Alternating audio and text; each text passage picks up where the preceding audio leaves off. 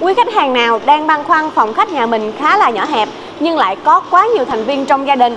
Vậy thì mọi người đừng bỏ qua video ngày hôm nay, bởi vì hôm nay em sẽ review một bộ bàn ghế đáp ứng được nhu cầu đó.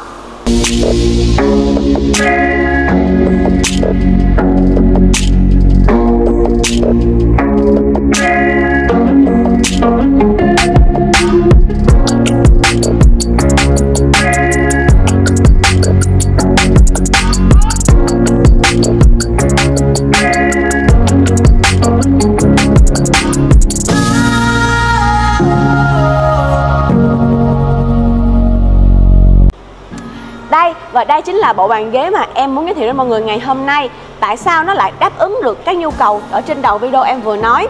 Thì à, trong cái video này em sẽ đưa ra cho mọi người bốn cái tiêu chí Để mọi người thấy được cái điểm nổi bật của em này Và vì sao nên đáng sở hữu nha. À, Cái tiêu chí đầu tiên á, thì nói về là chất liệu gỗ. Chất liệu gỗ ở đây được sử dụng là dòng gỗ hương đá Nam Phi cao cấp 100% như mọi người cũng biết thì cái uh, gỗ hương đá nó cũng khá là giống gỗ gõ đỏ. Tính chất của nó là cực kỳ cứng chắc và cái gỗ nó khá là đanh. Cái độ nặng của nó thì à, giống như những cái tảng đá vậy. Bởi vậy mà người ta dùng chữ đá để đặt tên cho cái gỗ hương này nha. À, cũng nói như là cái tuổi thọ của nó cực kỳ là cao có thể tính từ là đời này sang đời khác luôn. Đó. Và cái tiêu chí thứ hai ở đây chính là cái tiêu chí là về phong thủy.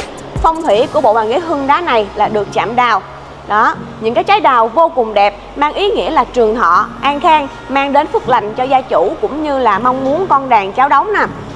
Và cái phần tựa lưng ở đây là được à, chạm tựa gương. À, không quá cầu kỳ như những mẫu túi quý nhưng nó lại vô cùng tinh tế và sắc sảo. Và bây giờ chúng ta cùng đến với tiêu chí thứ ba. Tiêu chí thứ ba ở đây đó là cái giá trị của gỗ hương đá thì ngày càng tăng.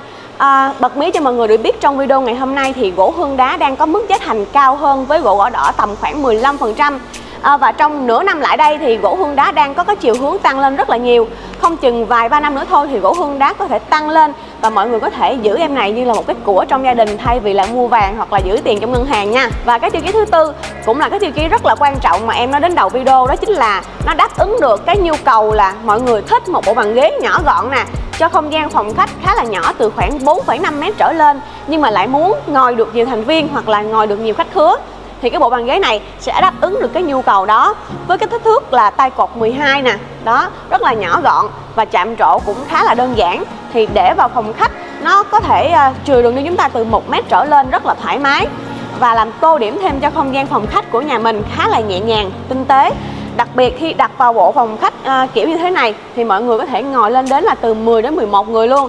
Đó rất là thích hợp cho những cái à, khách nào mà có nhiều thành viên trong gia đình hoặc là chúng ta thường hay tiếp những cái khách à, rất là tiện lợi luôn nha. Đó và bây giờ thì sau khi em nêu bốn cái tiêu chí nổi bật đó thì chúng ta cùng ngồi vào trải nghiệm cái sản phẩm ngày hôm nay. Ha. Đây em xin ngồi vào. Wow. Khi mà em ngồi vào á thì em cảm thấy là cái phần tựa lưng này nè nó ôm sát vào cái thân người của mình luôn. Nó có một cái độ cong nhất định nó ngồi vào nó rất là thoải mái. Và khi em dựa vào đây nè thì nó không có bị cái gì cấn sau lưng hết. Cái độ cao nó cũng vừa phải so với đầu của em. Đó cái độ rộng thì hai bên khá là rộng ha và ngồi thì vô cùng thoải mái. Nếu mà chúng ta khá là nhỏ con á thì chúng ta có thể ngồi được cả hai người luôn. Đó cái phần tay thì cũng rất là láng mịn. Em có thể sờ vào ở phía dưới này luôn nè từng cái ngóc ngách em cảm thấy uh, làm rất là láng mịn nha sơn nhám sơn sơn bóng và chà nhám rất là kỹ. Có nhiều cơ sở trên thị trường người ta khi mà sờ vào á có nhiều khách hàng người ta còn lo ngại là bị xước tay luôn đó cả nhà.